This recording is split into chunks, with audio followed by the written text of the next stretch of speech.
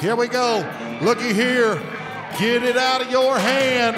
2.1. She's back in round number three.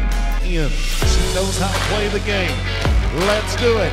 Hey, she said, I'll play a lot of games. Let's play a go around game. 2.1. She is now tied. Two point one, a three-way tie.